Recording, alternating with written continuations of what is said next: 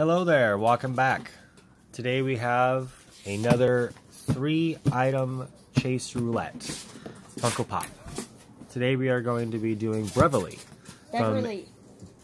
Yeah, Beverly, Beverly. however you say it, from It.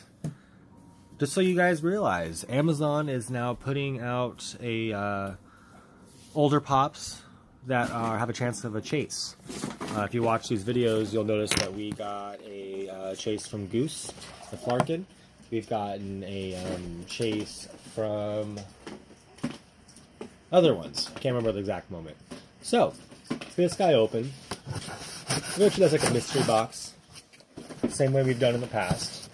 We are going to not take a look inside, and we are going to pull it out one by one to see if we got the chase. So let's go in here. Bubble wrap again. That's either a good thing or a bad thing. I cannot see inside the box. You can take one out if you want to. Let's take out this one, see if you got the chase.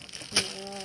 No chase. Beverly. It is Beverly Marsh. Beverly. Let's do the next one. Or do you want to do the next one? Mm. You want to put your hand in there and take out the next one? You get the chase.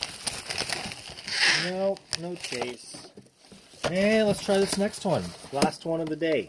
Or do you want to do it, Dexter? Mm. Want me to do it? All right. Do we get the chase?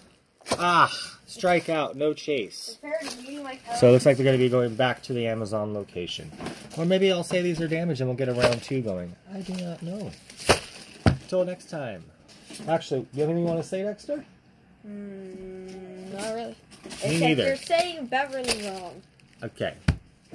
Thanks for watching. Have a great day. This is definitely a strikeout, but not every time can be a win. Have a great day. Bye. Bye.